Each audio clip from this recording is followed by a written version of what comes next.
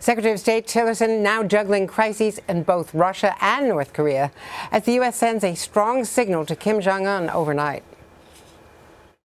Early this morning, the U.S. military testing a long range missile from California's Vandenberg Air Force Base. A not so subtle show of strength, coming just days after North Korea's second ICBM test just last week.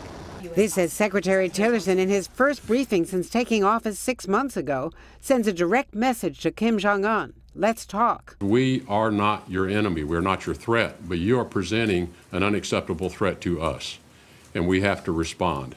The twin approach, military muscle combined with diplomacy, strongly endorsed by a former Pentagon chief. You need a strong military effort. You, you need a strong diplomatic effort if uh, there's going to be any hope of dealing with North Korea. But the conciliatory tone from Tillerson offering a stark contrast with President Trump.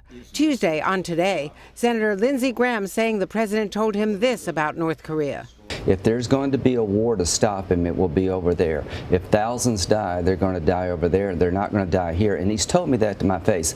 On Russia, after Vladimir Putin's order to remove more than half of the U.S. embassy staff. I've told uh, Foreign Minister Lavrov repeatedly, the situation's bad, but believe me, it can get worse. And it just did. Does it make our life more difficult? Of course it makes our life more difficult. All this as Tillerson tries to quiet rumors he might quit over disagreements with the president. He calls me late at night on the weekends when something comes into his head and he wants to talk. But I think if we're not having those differences, I'm not sure I'm serving him.